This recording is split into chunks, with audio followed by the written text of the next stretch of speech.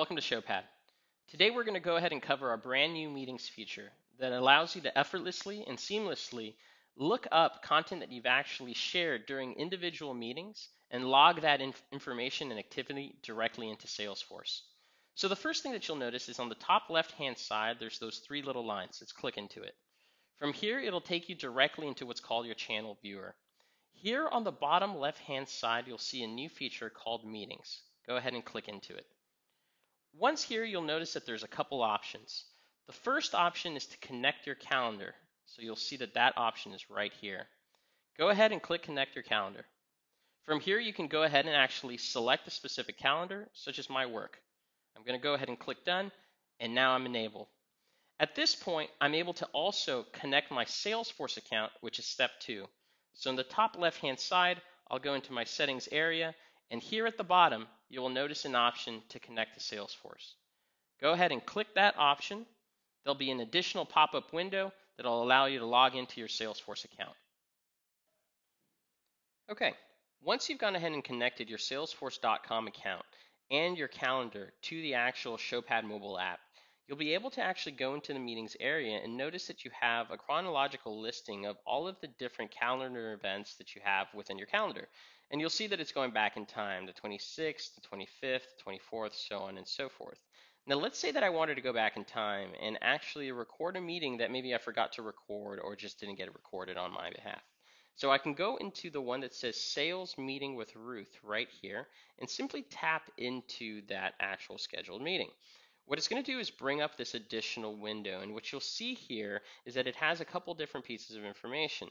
At the top, it has some information regarding sales meetings with Ruth, right? It has the two participants, the original time, and the actual time. Now, a little bit below here, it also has a start and an end time. Now, if I scroll down a little bit, you'll also notice that what this is is a chronological listing of every single item that I uh, actually displayed to Ruth during my session. Now you'll see that when I get to the bottom, there's also these items here that look in a different color. They're not quite the bold black, right? This means that these items were displayed, but they were displayed outside of the time that uh, that I actually indicated within the actual meeting. So you'll see that if I go back to the top here, it says between 1:30 and 2. But what if this meeting actually took a little bit further, uh, excuse me, a little bit longer, like 2:15, for example? So I can tap into this record simply extend this record out a little bit further to 215, just like that. So now when I tap back into this window, I can click down to the bottom. You'll see that it now actually extended the time to 215 and it added a couple additional items here that were covered during that time slot.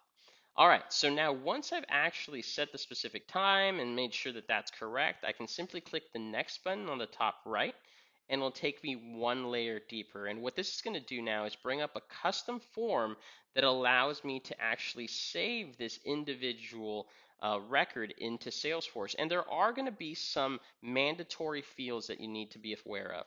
So the first one is here that says assign to. Now keep in mind all of these fields will be uh, customized within your instance. But for example, in my record, I have to assign this to somebody. So I'm going to go ahead and assign it to myself as I was actually the individual that had the meeting, right?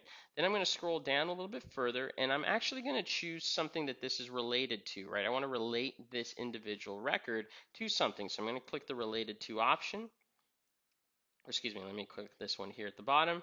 I can go into the account area and then from here I can actually type in the name of an account. So what I'm going to type in is sales, for example, and then I'm going to put at and you'll see that now I get an account called sales at Showpad Inc., which is our internal test account here. I'm going to go ahead and select that option. And now I can also scroll down and there's one last option for me called seniority level. I'm going to put first line and you always just want to remember that you have to fill out all of the mandatory fields. Once I go ahead and do that, I can go ahead and click save in the top right hand side and you'll see that this individual record will now actually save into Salesforce. Now at any point, I can go ahead and scroll down to the bottom. If I scroll back to the top actually here within my meetings area and I go back to the area, you'll see that I have a sales meeting with Ruth right here that has a little green check mark. That lets me know that I can actually save this to salesforce.com and now it has been saved. If I tap into this record, you'll see that it doesn't give me the option to save it anymore. In fact, what it does, it gives me the option to view this in Salesforce. So that's a little bit of information on how to actually save a meeting, push it into salesforce.com, and then review it. If you do have any questions on this, you can always reach us at support at showpad.com.